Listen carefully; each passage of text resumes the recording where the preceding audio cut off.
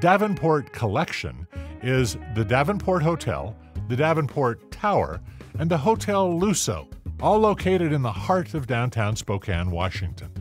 The three properties feature world class service, beautiful surroundings, and affordable luxury.